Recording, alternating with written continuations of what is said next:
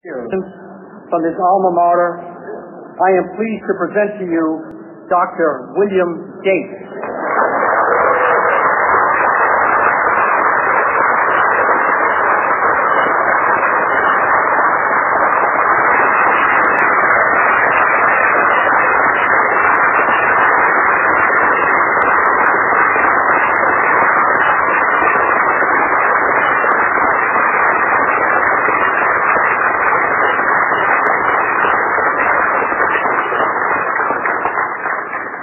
Thank you.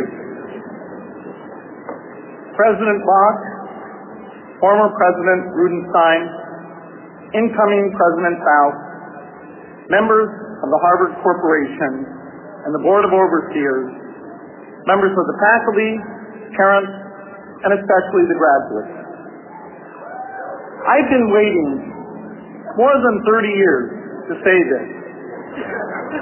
Dad, I always told you I'd come back and get my degree.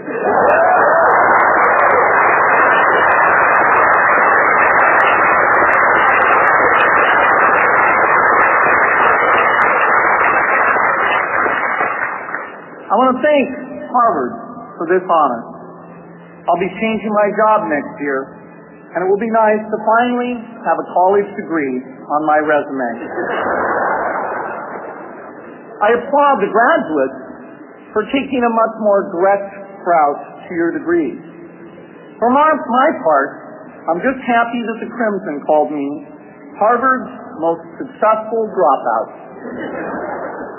I guess that makes me valedictorian of my own special class. I did the best of everyone who failed. But I also want to be recognized as the guy who got Steve Ballmer to drop out of business school.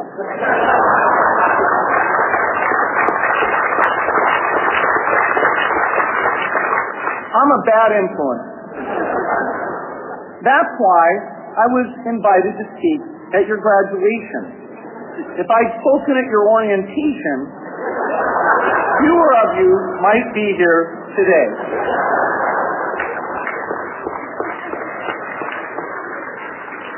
Harvard was a phenomenal experience for me. Academic life was fascinating. I used to sit in on lots of classes that I hadn't even signed up for. And dorm life was terrific. I lived up at Radcliffe in Currier House. There were always a lot of people in my dorm room late at night discussing things because everyone knew that I didn't worry about getting up in the morning.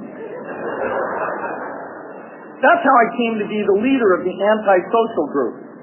We clung to each other as a way of validating our rejection of all those social people. Radcliffe was a great place to live. There were more women up there, and most of the guys were math science types.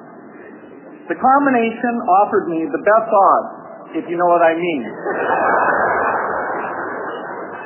That's where I learned the sad lesson that improving your odds doesn't guarantee success.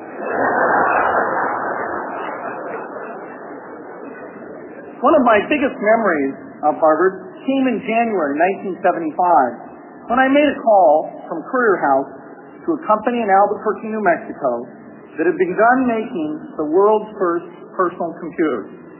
I offered to sell them software. I worried they would realize I was just a student in a dorm and hang up on me. Instead, they said, we're not quite ready. Come see us in a month, which was a good thing because we hadn't written the software yet. From that moment, I worked day and night on the extra credit project that marked the end of my college education and the beginning of a remarkable journey with Microsoft. What I remember above all about Harvard was being in the midst of so much energy and intelligence. It could be exhilarating, intimidating, sometimes even discouraging, but always challenging. It was an amazing privilege.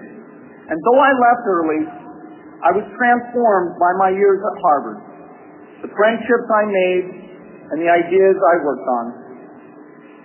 But taking a serious look back, I do have one big regret. I left Harvard with no real awareness of the awful inequities in the world, the appalling disparity